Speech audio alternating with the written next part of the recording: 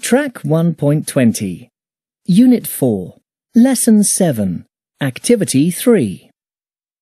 Hello, Robert. Have you done all the chores yet? I'm afraid I haven't finished yet. Have you done the washing? No, I haven't. Shall I do it now? Thanks. That would be great. Have you made the beds? I'm sorry. I haven't had time. Would you like me to do it now? Don't worry. I can do it myself.